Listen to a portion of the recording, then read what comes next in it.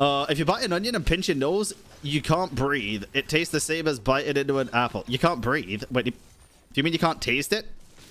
I need to pick a different character after this. Um, yeah, I mean, you, you can't taste anything if you pinch your nose for the most part anyway, because you're, you're cutting off your, your sense of taste. You, like, that's why when you got like a flu or COVID or a blocked nose, you can't smell anything because your sinuses are all connected. Can't taste anything.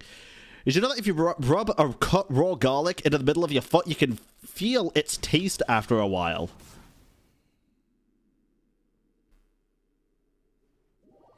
Are you telling me if I rub a garlic onto my foot, I'll taste it with my foot? I'll fucking do it.